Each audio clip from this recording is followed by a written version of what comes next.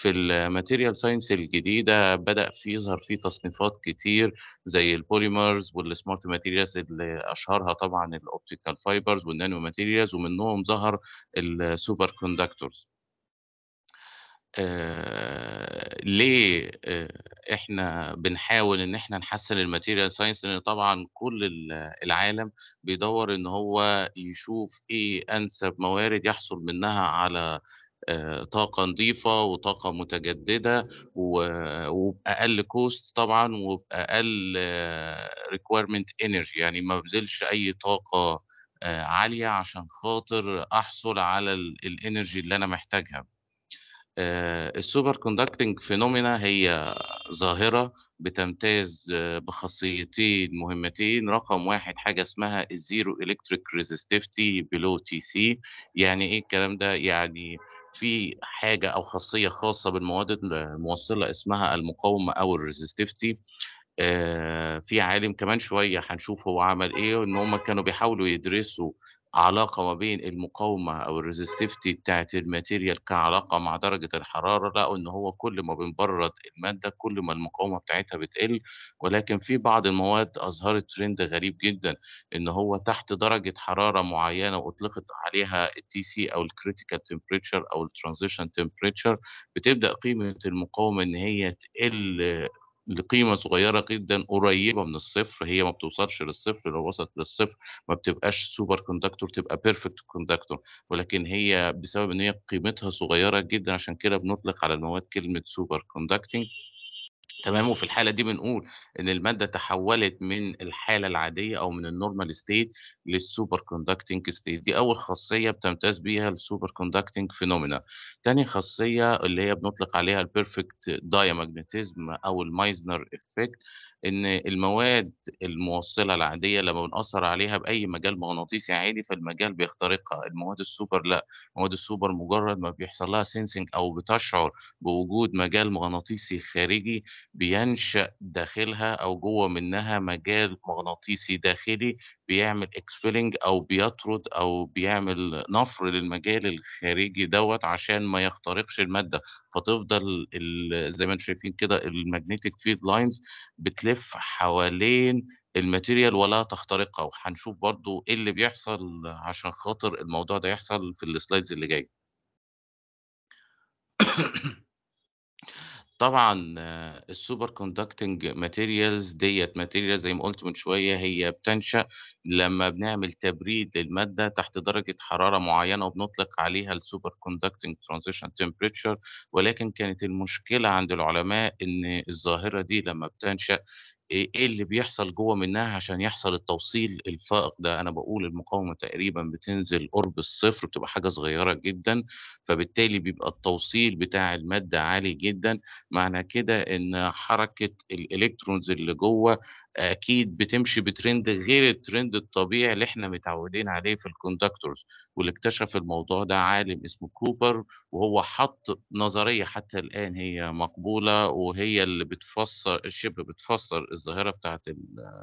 ال superconductivity إن هو قال إن ال electrons بتتحرك مش فرادى يعني مش كل الكترون بيتحرك لوحده لأ ال electrons بتتحرك in pairs وعشان كده سميت بالايه بال Cooper pairs طيب نجيب الموضوع كده من البداية خالص اللي هو سبب ظهور أو سبب اكتشاف ال superconductivity. أول عالم اكتشف الموضوع ده كان هو العالم أونز والكلام ده كان سنة 1911 لما عمل الاختراع بتاعه وقدر يوصل إن هو ينشئ جهاز الإسالة لغاز الهيليوم. هو كان عالم في ال low temperature physics اللي هو اللي بيعملوا أجهزة الإسالة للغازات فهو العالم ده أول ما قدر يخترع الجهاز اللي يعمل بيه عملية liquefying للهيليوم قدر يستخدم بال... بالسائل الهيليوم ده اللي هو درجة حرارته قليلة جدا بتنزل لغاية 4 كلفن تقريبا يعني في حدود سالب 270 تقريبا قرب تحت الصفر السيليزيوس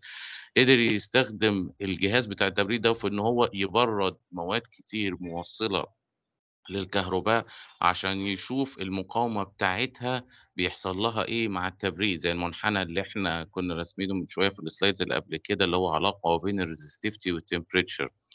بعد منه في 1933 اكتشف ال العالمين أوشنفيلد ومايزنر الخاصية التانية بتاعة الsuper conductivity اللي هي بيطلق عليها الdiamagnetic يبقى في 1911 أونز اكتشف خاصية الsuper conductivity عن طريق دراسة العلاقة بتاعة ال الtemperature مع الresistivity وفي 1933 مايزنر وأوشنفيلد اكتشفوا ال ال الdiamagnetism. بعد كده بدأ العلماء بعد ظهور ظاهرة الsuper conductivity بدأ العلماء يحاولوا يفكروا اللي بيحصل في الmaterial عشان تتحول ويحصل لها transition ده؟ أصل إحنا عندنا في الphysics في حاجة اسمها phase transition والphase transition اللي هو التحول الطوري إن المادة في العادة يعني اللي إحنا نعرفه بيقول إن هي تحولت من الحالة الصلبة للسائلة للغازية ده اللي بنطلق عليه الphase transition. أما اللي قدامي المادة حصل لها transition ولكن ما اتغيرش شكلها اتغير خصائصها. الداخلية اللي هي الelectric properties بتاعتها فبالتالي ده ما بنقولش عليه transition عادي بنقول عليه second transition يبقى بقى في نوعين من الtransition عندنا first order phase transition وده هو التحول الطبيعي اللي إحنا عارفينه ما بين الحالة الغازية والسائلة والصلبة، أما اللي ظاهر قدامنا ده نوع مختلف من الtransition بنقول عليه order phase transition إن هو ما بيتغيرش شكل المادة ولكن بيتغير خصائص في المادة. أول اتنين حبّوا يحطّوا نظرية ونجحت في تفسير بعض الظواهر كان الأخين لندن، حطّوا بعض الظواهر لتفسير التأثُّر بتاع الmaterial من حيث تأثير أي مجال كهربي أو مغناطيسي عليها، وبعد كده ال العالمين جايزنبرج ولانداو برضه حطّوا النظرية الشهيرة بتاعتهم اللي فسّرت جزء كبير من ظواهر الsuper conductivity وسُمّيت GL theory نسبةً لأول حرف من اسم كل واحد فيهم. بعد كده جه العالم أبروسكوف حط النظرية اللي فسّرت نوع من أنواع الsuper conductivity اللي هو بنطلق عليه type 2 هنعرف كمان شوية إيه هو type 2 هل ده على كده إن في كمان type 1 آه الsuper conductivity بعد كده اتقسّمت المواد من حيث type 1 وtype 2 آآ آخر نظرية اللي هي كانت سنة 1957 وحتى الآن تعتبر هي النظرية القائمة اللي بتفسّر آآ 90% من ظواهر ال المواد الsuper conductivity ال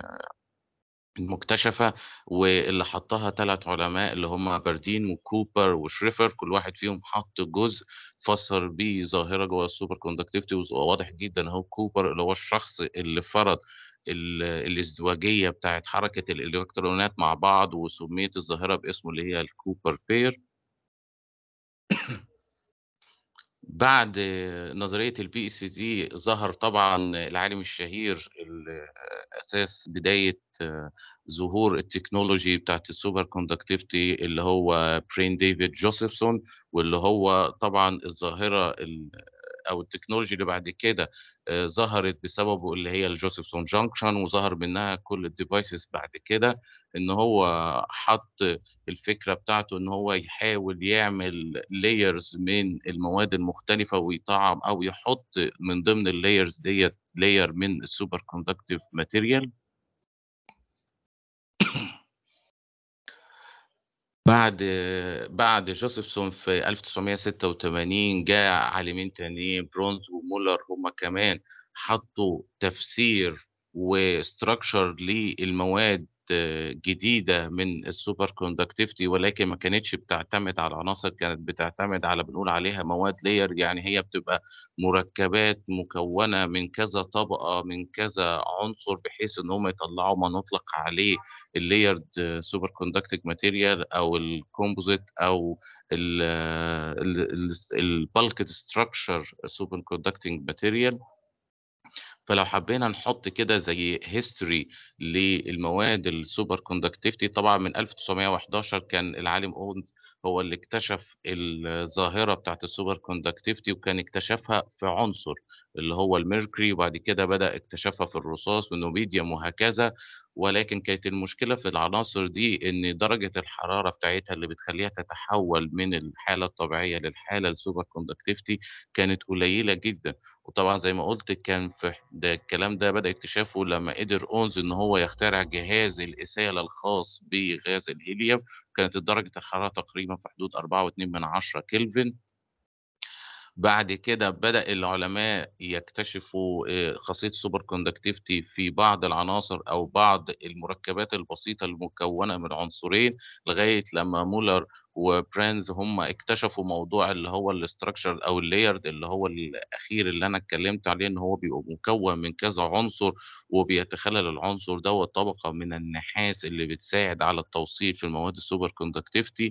بعد منه ظهر المركبات اللي هي بيبقى فيها عناصر أتقل شوية زي الإتريوم والبسموس وهكذا، وكانت دي الصيحة الع العالية بتاعة الsuper conductivity إن دول كان بتظهر ظاهرة الsuper conductivity ولكن درجة الحرارة بتاعتهم كانت فوق النيتروجين المُسال، ومن هنا بدأ يظهر عندنا نوعين من الsuper conductivity بنقول عليه الlow temperature اللي هو درجة تحوّله بتبقى تحت ال77 كلفن، والhigh temperature superconductor اللي هي بتبقى درجة تحوّله فوق ال77 كلفن، ودول بالنسبة لنا اللي هم اللي فوق أرخص في التعامل معاهم، لإن أنا عشان أحوّله لsuper conductivity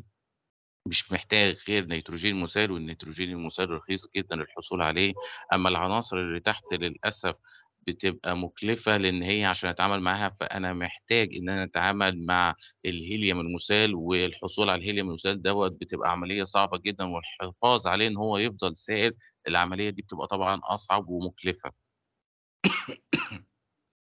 طيب ده فيديو بسيط يعني أنا حاولت أحُط في الpresentation بعض الفيديوهات اللي هتقرّب الموضوع بتاع الsuper conductivity. طبعًا إحنا قُلنا ليها خاصيتين، خاصية الMeissner effect وخاصية ال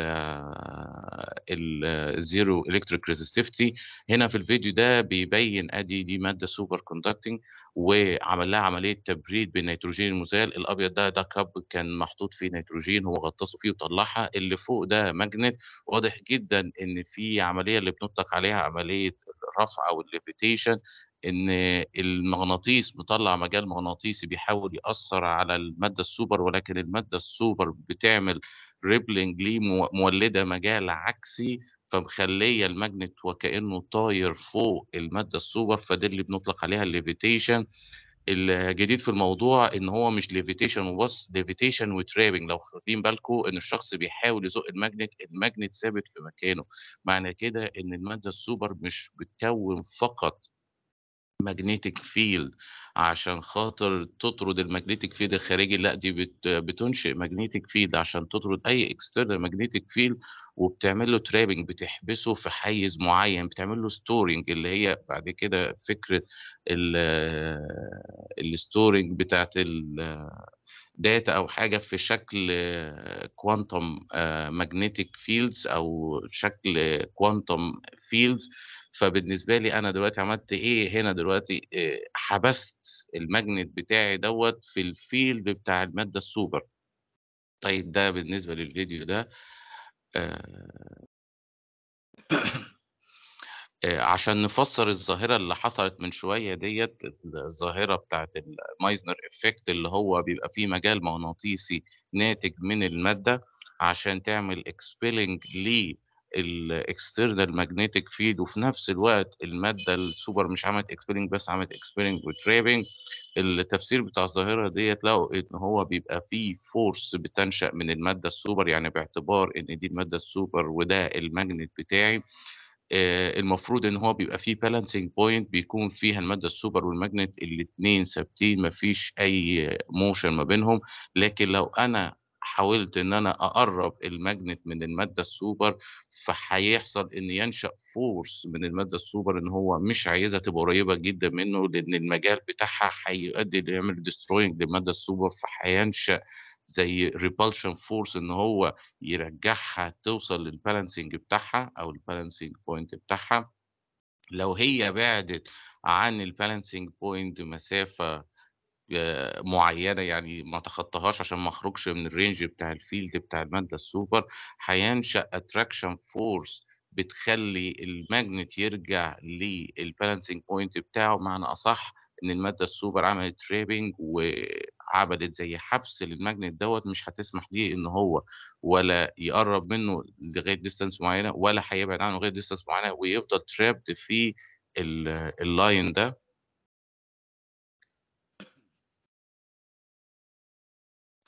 بعد كده بعد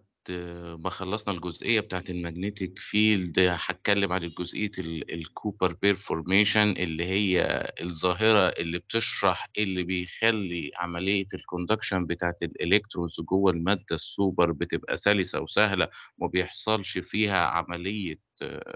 dissipation للenergy و وينشأ منها الresistance لو افترضت إن دي الcrystal بتاعتي وإن الدواير الزرقا دي تمثّل الذرات والنقط الحمرا دي تمثّل الإلكترونات، في الحالة الطبيعية بتاعة المادة الconductor المفروض إن الatoms دي بيحصل لها حاجة بنطلق عليها اسمها lattice vibration أو الاهتزازات بتاعة الatoms دي، وبتكون اهتزازات في جميع الاتجاهات ب3D تمام، ولكن خلّينا أبسط حاجة لو اعتبرناها اهتزازة أفقية يمين وشمال، الاهتزازات ديّة مع حركة الإلكترونات اللي هي تمثّل مرور التيار، المفروض إن الاهتزازات دي بتؤثّر على الإلكترونات وبتعمل لها حاجة اسمها scattering تشتُّت، فما بيبقاش الإلكترون ماشي في خط مستقيم بشكل حُر، لأ ال الاهتزازات دي بتأثّر عليها وبتخلّي الإلكترون يتشتت، ما يمشيش في الاتجاه بتاعه، ممكن ينحرف يمين، ينحرف شمال، يطلع لفوق أو يرتد على نَفْسه، ال الmotion ديّة أو الinteraction دوّة بنسميه electron phonon interaction وهو المسبب لظهور المقاومة في أي material بيمُر فيها تيار، أحد المسببات. لظهور الresistance في الmaterial اللي بتمرّر تيار، ولكن في الsuper conductivity النظرية اللي فرضها كوبر قال إن في الconductor العادي الإلكترون ده بيمشي بشكل فردي، ولكن في الsuper conductor بيمشي بشكل زوجي، يعني إيه؟ اتنينات مع بعض، ولكن الإلكترون ده إشارته سالب والإلكترون إشارته سالب، فإزاي يمشوا مع بعض وهُم الاتنين من نفس الإشارة؟ المنطق بيقول إن هُم يتنافروا، ولكن اللي قاله كوبر قال إن هو اللي بيحصل كالآتي، إن الإلكترون لمّا بييجي يتحرك وسط الlayers بيؤدي إن الشحنة بتاعته بتعمل عملية تجاذب ما بين ذرتين على يمينه وعلى شماله، فبدل ما هو بيقرّب من الatoms لأ دي الatoms هي اللي بتقرّب منه، ولكن بما إن هو جسم صغير جدًا وسرعته عالية جدًا، فهيقدر بكل سهولة إن هو يskip من المنطقة دي، ولكن تأثيره إن هو جذب ال2 atoms دول خلّى إن المنطقة ديّة فيها شحنة موجبة، الشحنة الموجبة دي هتكون كفيلة إن هي تجذب الإلكترون التاني اللي وراه، يعني بمعنى أصح إن الإلكترون ده تسبب في وجود المنطقة ديّة بpositive charge والpositive charge تسببت إن هي جذبت الإلكترون، فهو كإني باقول إيه، إن الإلكترون ده جذب الإلكترون ال اللي بعد منه، ولكن بسبب التأثير أو الeffect اللي عمله إن هو أظهر منطقة positive هنا في النُص ما بينهم، أدِّت لانجذاب الإلكترون التاني وراه، فلو الموضوع ده حصل له reputation طبعًا الذرات دي مش هتفضل على حالها، دي هتعود للحالة الstable بتاعتها. ده بعد زوال المؤثر الأساسي اللي هو الإلكتروني الأولاني، بس وهي بترجع هتكون already جذبت الإلكترون التاني اللي وراه، لو الموضوع بدأ يتكرر هيبدأ بقى إن هو ده لمّا يتحرك هيشد ال الatoms اللي جنب منه، والإلكترون التاني هيشد الatoms اللي هو شدِّته في في البداية، هو بقى هيولِّد الpositive region اللي هتشد بعد منه إلكترون تاني وهكذا، وتبدأ العملية تتكرر، وديّة ال النظرية حتى الآن اللي هي تعتبر مقبولة في تفسير حركة الإلكترونز داخل الsuper conductivity.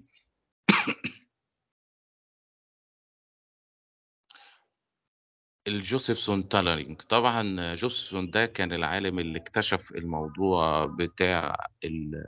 الجوزيفسون tunneling وكانت فكرته بسيطة جدًا، قال لك إن أنا عايز أشوف لو أنا جِبت مادة سوبر ووصّلتها بمادة سوبر تانية، ولكن حطيت في النُص مادة ما بينهم من نوع مخالف عن السوبر، آآ ممكن هو لمّا ابتدى استخدم مواد عازلة كهربائيًا insulators. بعد كده الناس بدأت تطوّر وبتحط بدل الinsulator ده ممكن بيحطوا conductor عادي مادة موصلة عادية من نوع مختلف أو ممكن بيحطوا مادة سوبر ومادة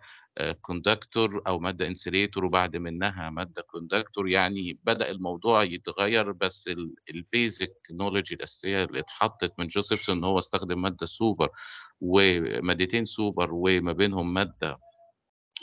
insulator وبدأ يدرس تأثير مرور التيار وهو بينتقل من المادة السوبر لل block التانية السوبر. قال المفروض المادة ال insulator دي يا ترى هل هيحصل فيها من ال quantum mechanics ما نطلق عليه ال tunneling أو اللي هو إن التيار أو الالكترونات دي هتخترق المنطقة ديت وتعمل فيها زي نفق أو tunnel وتعبر المنطقة التانية ولا لأ من نظرية ال quantum mechanics اللي هي ال tunneling effect لقى فعلا ان هو بيحصل tunneling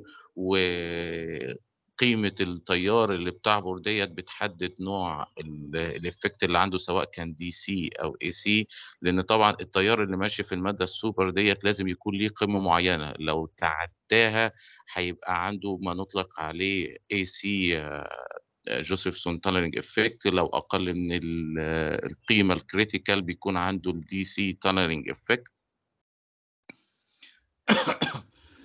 من شوية أنا قُلت كان في أهم حاجة إن المادة عشان تتحوّل لsuper conductivity يكون عندي درجة الحرارة أقل من قيمة معيّنة، وفي الجوزيفسون قُلت إن التيار لازم يكون أقل من قيمة معيّنة عشان يكون عندي الDC جوزيفسون effect لو أعلى منها هيبدأ يظهر ما نطلق عليه الAC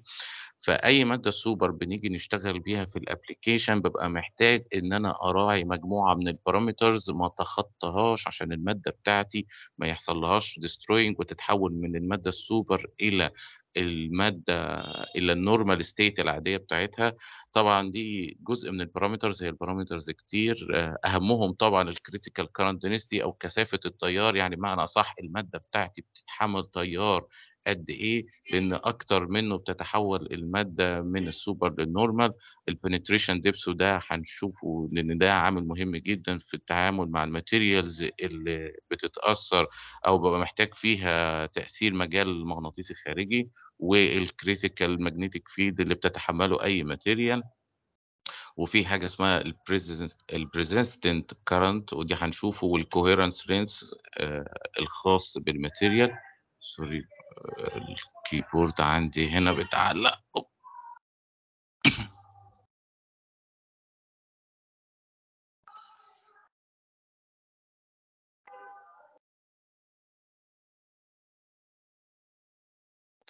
أيوه آآ أول parameter طبعًا وأهم parameter ب بنهتم بيه في الresearch وفي الapplication اللي هو current density لإن في الأول وفي الآخر المواد الsuper conducting هي مواد بتوصّل تيار، فأنا الأهم عندي رقم 1 هي بتتحمّل تيار قد إيه من غير ما تتحوّل من الsuper state للnormal state.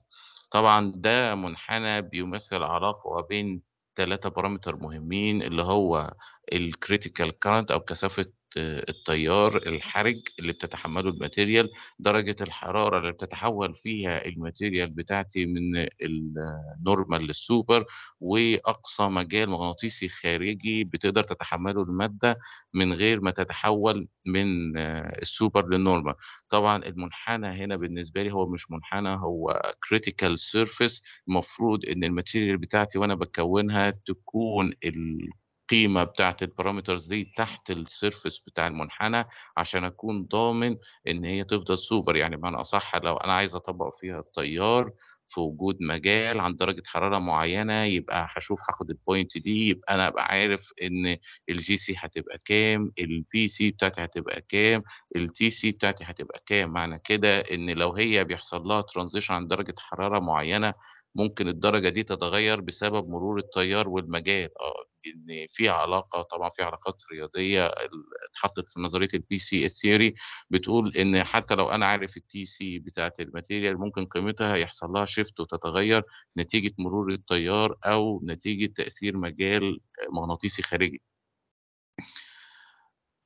الpenetration depth آآ وديّة من الثوابت برضه المهمة وخصوصًا لمّا باعمل device بالsuper conducting والdevice ده هيُستخدم لقياس مجالات مغناطيسية خارجية،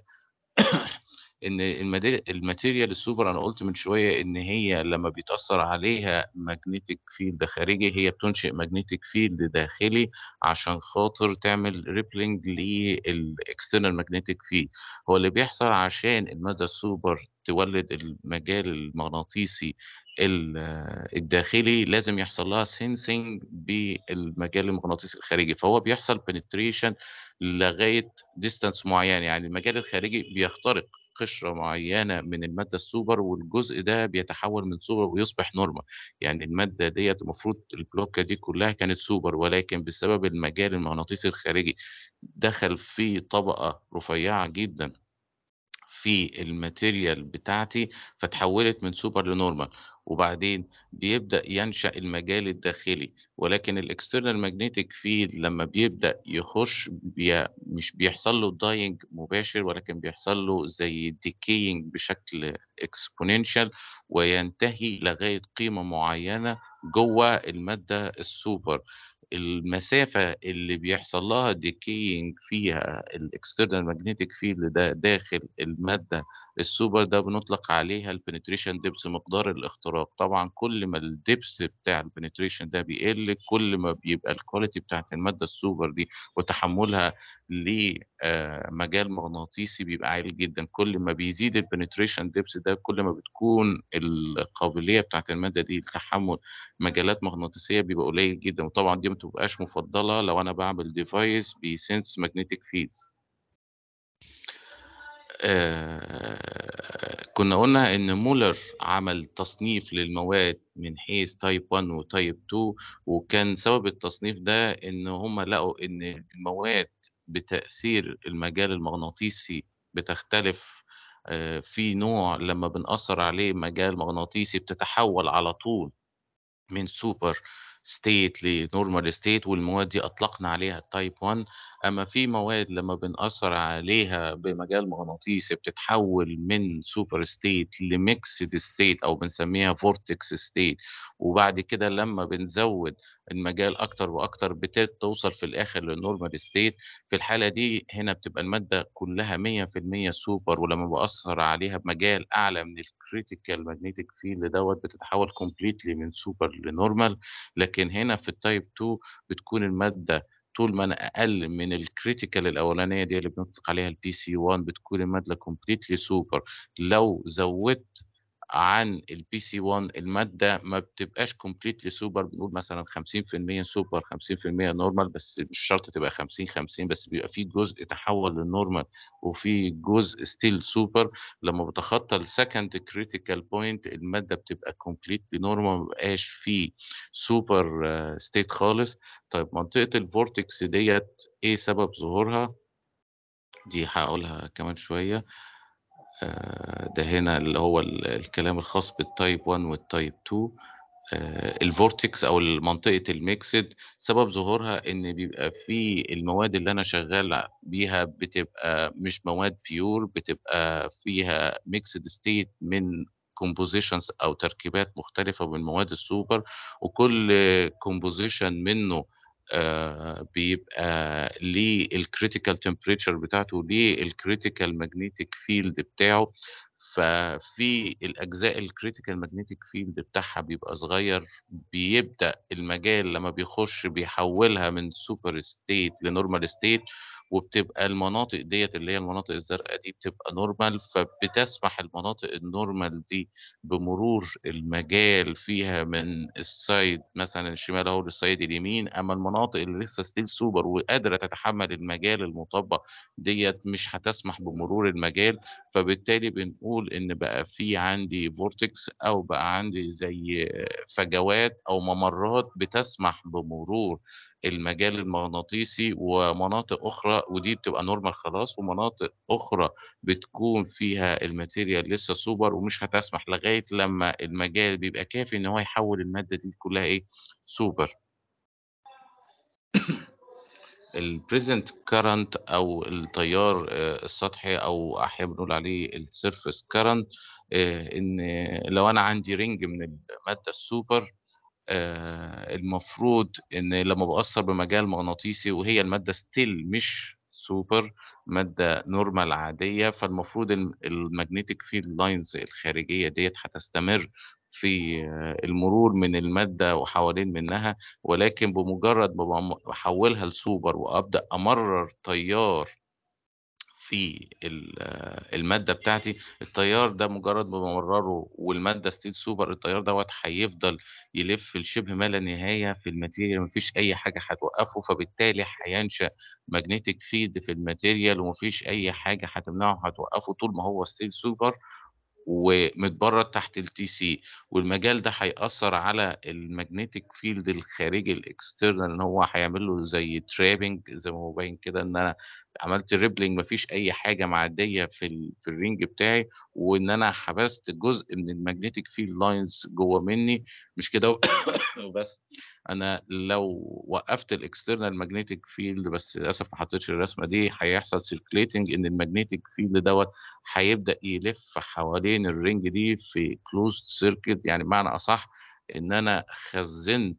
آآ ماج external magnetic field كان بيعدّي من المادة حوالين الring ده، عملت له زي storing وخزّنته عندي. الapplications بتاعة الsuper conducting materials كتيرة جدًا طبعًا يعني ده جزء منها مش كلّها، آآ أشهرهم طبعًا وأولهم أول حاجة ظهرت اللي هو الmaglev train أو اللي هو اختصار لmagnetic levitation train اللي هو اللي بنقول عليه القطر الطائر، الsquid وده magnetometer أو sensitive magnetometer هو اختصار conducting آآ interface device. آآ وطبعًا الجهاز الشهير بتاع الMRI والNMRI كل دول ال techniques اللي مستخدمة في sensing أي external magnetic field أو حتى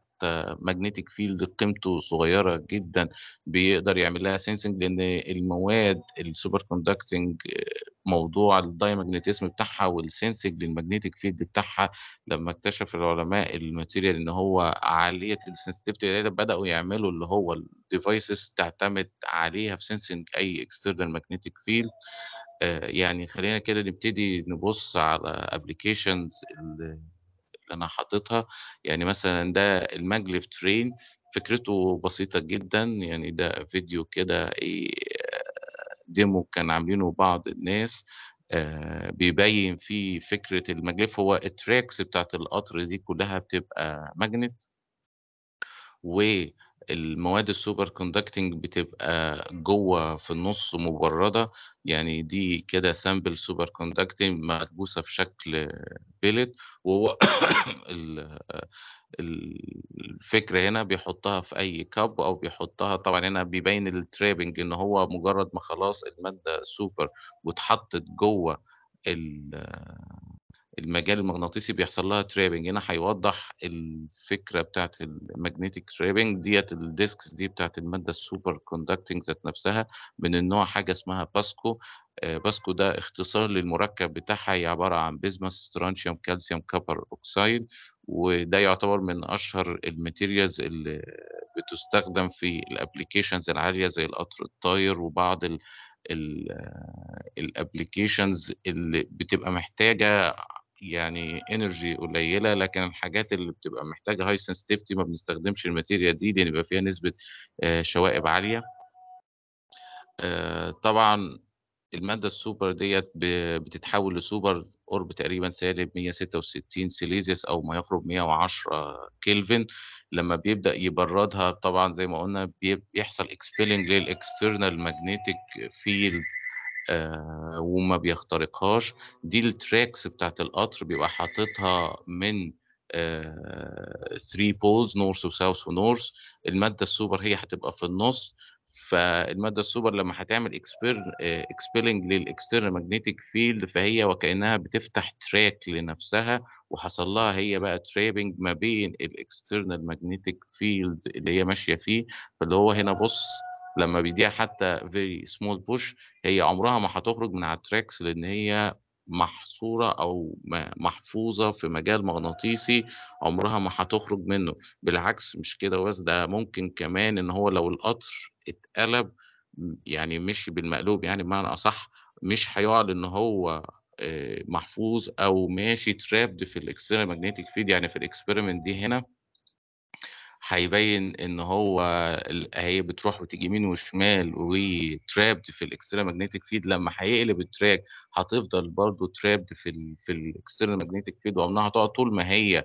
آآ المادة still super مجرد ما النيتروجين هيطير وهتتحول لnormal كل الeffect ده هيروح. طبعًا في هنا كان فكرة في الآخر حطينا إن قال لك لو عملنا الموضوع ده نقدر نعمل إن القطورة ما تبقاش ماشية على الأرض وبس، إحنا ممكن نعملها إن هي تبقى على البيوت، يعني بعد كده المترو يُقف قدّام الشباك. مش محتاج إن أنا أنزل أدوّر عليه نعمل الlines بتاعته. هنا ده كان example قطر اللي هو كان موجود في اليابان وكان معمول testing ليه، هو كان بيبقى عربية واحدة يعني عشان خاطر الcosting بتاعه كان عالي وكان معمول ما بين ولايتين مسافة صغيرة. آآ القطر هنا تخطِّت سرعته وصل تقريبًا 500 كيلومتر في الساعة.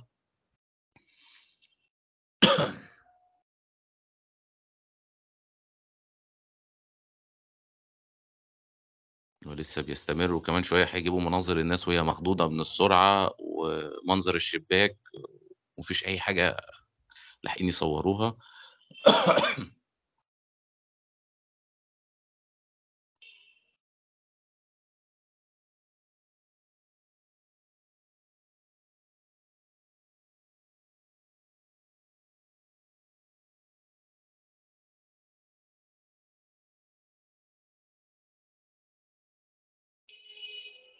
تقريبًا هو وصل ل470 هيوصل ل500، 501 تقريبًا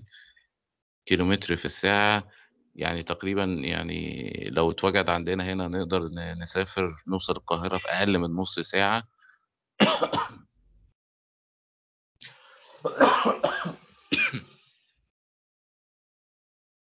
ده كان بالنسبة لل train آآ ده هنا video demonstration تاني برضه كان بيوضّح ال فكرة الtrapping بتاعة ال ال ال maglev train. هي نفس الفكرة برضه، ممكن إيه؟ ده خلاص. آه، آآ ال SQUID أو اللي هو ال ال magnetometer الصغير ده وده يعتبر كان لمّا اتعمل كان يعتبر أكبر صيحة في التكنولوجي وخصوصًا في الأجهزة اللي بتستخدم أو بتsense magnetic fields ضعيفة جدًا، هو اختصار عشان كده بتُكتب دايمًا capital هي superconducting quantum interface device. وهي فكرته مبنية طبعًا في الأساس على الجوزيفسون effect وأول ما اتعمل الdevice ده كان هو الbasic الأساسي لقياس أو المستخدم في أجهزة قياس الmagnetic field اللي بتخرج من المُخ، وفي نفس الوقت كمان بتوع الgeophysics استخدموه في قياس الmagnetic fields اللي بتنشأ من الأرض، لإن هو لقوا إن الsensitivity بتاعته للmagnetic field عالية جدًا. الsuperconducting wires طبعًا ده كان حلم كبير وما زال ناس كتير يعني بتعمل فيه إن هم يبدأوا يعملوا من الsuperconducting wires آآ من الsuperconducting material wires. وخصوصًا إن أنتم لمّا شُفتوا من شوية إن الsuperconducting materials بتبقى معظمها مكبوسة في شكل pellets أو ممكن في شكل rods فالflexibility بتاعتها مش عالية إن هي تتطوّع وتتلف في شكل ملفات أو أسلاك، فكان في طرق كتير عشان يحاولوا يعملوا منها wires يعني ده مجموعة من الcores المختلفة اللي معمولة هي الsuperconducting material هنا معمولة في طبقتين أدي طبقة وأدي التانية وحوالين منها shields وin between في shields تانية والcooling material أو الcooling fluid المستخدم اللي هو مثلًا النيتروجين بيمرّر هنا في النُص عشان يحاول يبرد المواد السوبر ولكن مشكلة كانت الwires اللي بيعملوها إن هي بتبقى صلبة جدًا. آآ آخر حاجة في الapplications طبعًا كلنا سمعنا عن المسرع أو الLHC ال ال اللي معمول عشان دراسة الناس بتوع الastrophysics. هو فكرته بسيطة إن هو معمول 3 تراكات والsecondary والlarge hadron collider اللي هو بيقولوا عليه الLHC accelerator عشان خاطر يستخدموه في دراسة آآ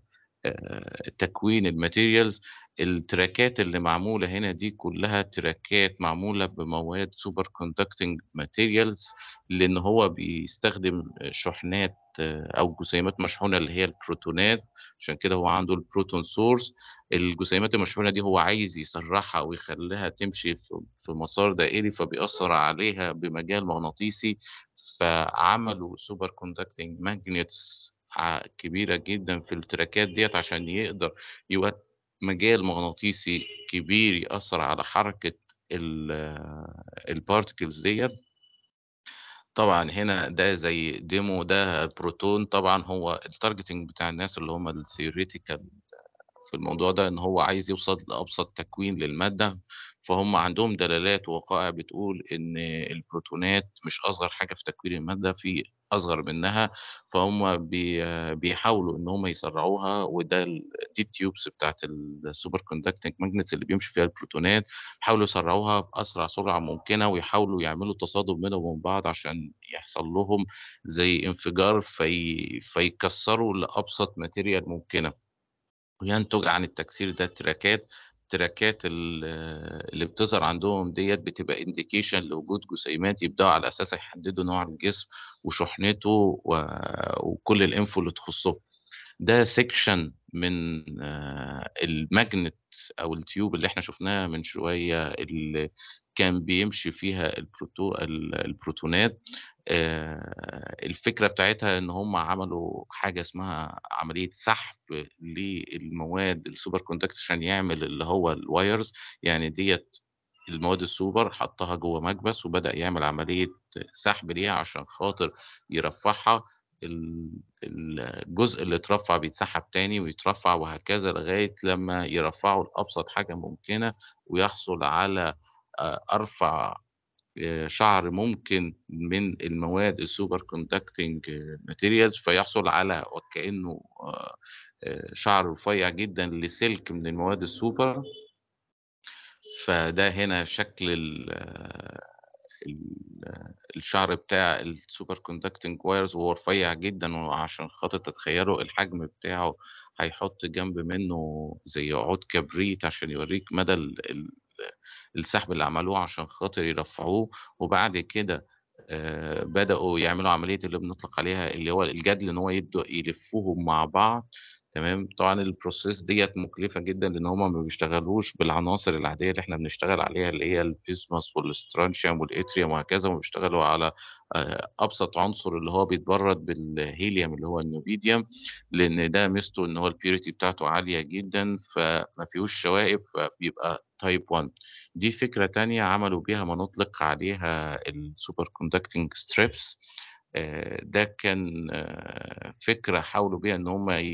يزوّدوا الflexibility بتاعة الsuper conducting wires. بيستخدموا فيه حاجة اسمها الlaser adaptation إن هو بيحط المواد السوبر في فرن. وهنشوف كمان شوية هيسلّط عليها laser بenergy عالية عشان يفتتها ويحوّلها لpowder وتبدأ هي تترسّب على strips من السيلفر شرايح من ال السيلفر يعني بيبخّرها بالlaser وتنزل هي تترسّب على شرايح السيلفر وبعد كده بيعمل زي smoothing ب بlaser beam تاني عشان لو في أي طبقات أو layers زيادة بيمسحها ويشيل ال ال الطبقات ال الزيادة.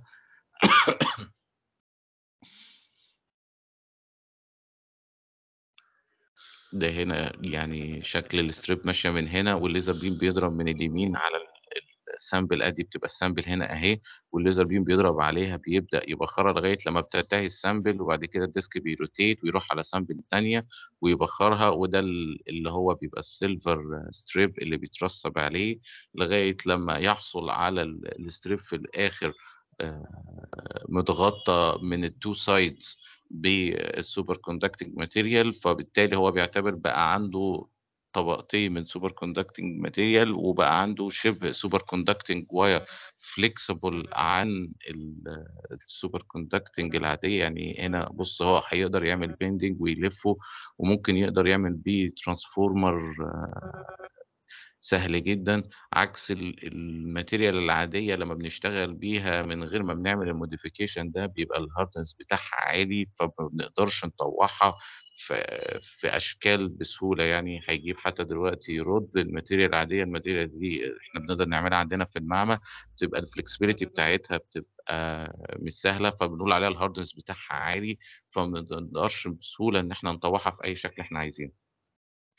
فبما إن خلاص بقى عندي ال الstrip أقدر أعمل coil وأقدر ألفّه، والمادة اللي شغّال بيها لو هي من type 2 high temperature superconductor يبقى بكل سهولة أقدر أجيب container أحط فيه نيتروجين أغطّسه فيها، بقى عندي superconducting material في الsuperconducting state ت تقدر تعمل لي آآ أو تخزّن لي طاقة، تخ توصّل لي كهربا، أخزّن بيها magnetic آآ field whatever أنا بقى محتاج أعمل بيها إيه. شكرًا لو كنت طوّلت عليكم، ولو في أي أسئلة أنا تحت أمركم.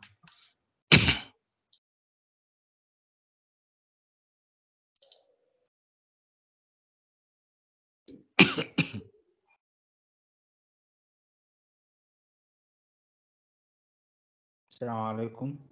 وعليكم السلام ورحمة الله وبركاته. يعني أنا باستأذن دكتور أحمد أنا ليّا سؤال. اتفضل. آآ وأنا باشكرك على المحاضرة الجميلة دي. الله يخليك. آآ هل الsuperconductor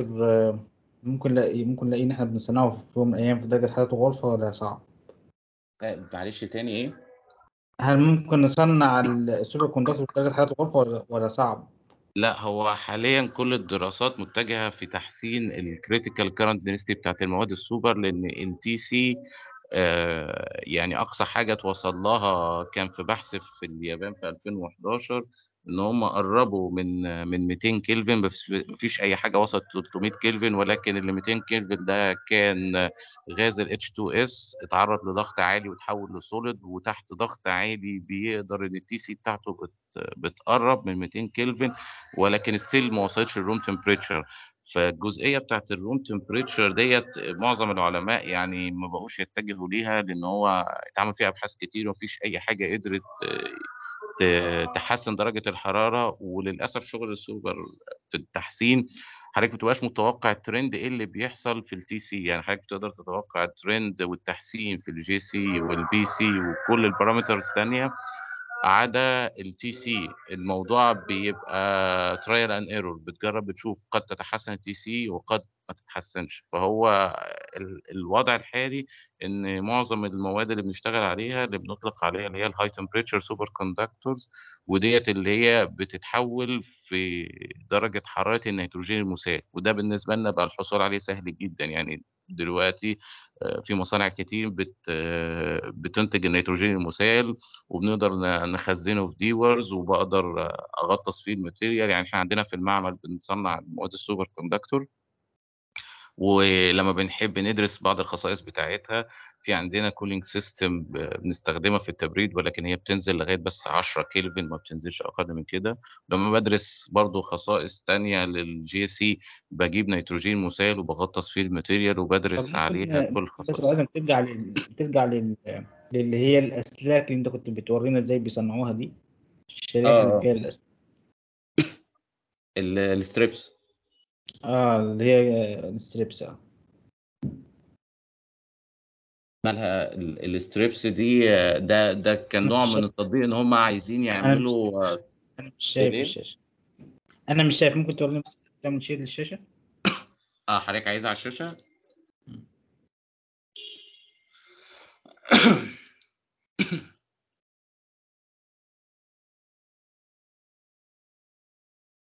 الstrips الstrips دي يا دكتور؟ لا، اللي هي ال الأسلاك اللي هي زي اللي هي الشعيرات اللي أنت الشعيرات ديّة دي كانت مستخدمة مش لعمل الstrips، الشعيرات اللي هي قصد حضرتك الشعيرات دي؟ آه، هي دي هل دي م ده superconductor صح؟ آه ده ال superconductor بس ما هو في الحالة دلوقتي ديت مش superconductor هو normal normal conductor لسه بي هو ده بيستخدم عشان يعمل اللي هو ما نطلق عليه اللي هو ال- ال track أو ال magnet track بتاع اللي هو ده اللي هو ال tubes ديت. ال tubes دي آه. كلها معمولة من اللي هو عنصر الن- النيوبيوم ودوت superconducting element مش compound ودوت بي- بيتحول لسوبر لما بيتبرد بالهيليوم المسال وال magnetic field اللي ناتج منه عالي جدا عشان كده في ال Large Hadron Collider في سيرن بيستخدموه عشان يقدروا يسرعوا بيه ويتحكموا في مم. حركة البروتونات. في في طيب، ال accelerator بتاعهم فال. دلوقتي مثلا لو إحنا بن- يعني بنحلم إن يكون عندنا quantum computer بال superconductor هل هيبقى ده في تناول إيدينا في يعني ك ك ك desktop quantum computer ولا صعب باستخدام هو مش هيبقى زي desktop. هو لو وصلنا لو وصلنا لل لل room temperature هنوصل إن هو هيكون في desktop super انت conducting قلت قلت قلت يعني شبه مستحيلة يعني. الايه قلته؟ قلت صعبة جدا إن إحنا نوصل لل room temperature آه فهو هيبقى ال- البديل إن هو يبقى central computer يبقى في cloud mainframe في مكان معين وهو ال- ال- معمول له cooling وكل ال users عليه يبقوا terminal users شكرا شكرا يا دكتور شكرا جزيلا. العفو العفو.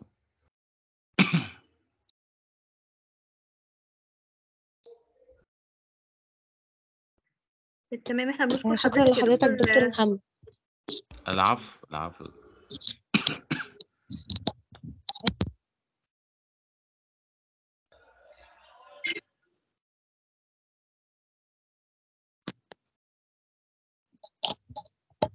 طيب آه كريم كريم انت جاهز دلوقتي؟ أنا جاهز أه. طيب خلاص الصوت واضح؟ آه تمام واضح. ثانية واحدة. هل كده الصوت أحسن؟